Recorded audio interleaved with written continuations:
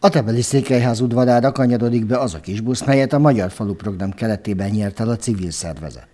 Potápi Árpád János nemzetpolitikáért felelős államtitkár Tolna megye kettes számú választókerületének országgyűlési képviselője arról beszélt a jármű átadása kapcsán. A civil program keretében 5000 szervezet mondhatja magát nyertesnek.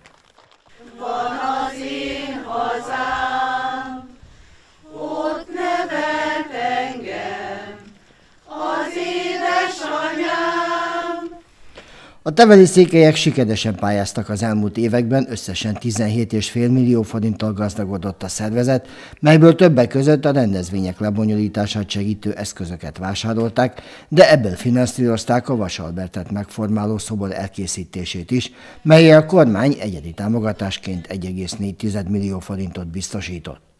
Erős Pál a szervezet elnöke azt mondta, azért döntöttek az erdélyi magyar írószobrának felállítása mellett, mert megítélése szerint Vasadbent élete és szellemisége példaértékkel bír.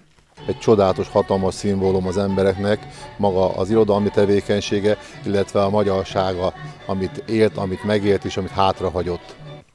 Csak a vér és a nyelv tudja összekötni az embereket és a közös múlt emléke. Olvasható a Túri Török Tibor szobrász által készített alkotáson.